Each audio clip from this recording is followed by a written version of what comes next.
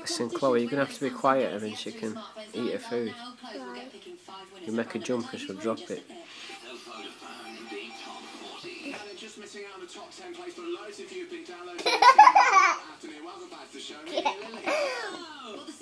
she likes broccoli. No. What are you going to be doing for the next week? I'm trying not to like look at the iTunes chart much because I feel like it gets me thinking.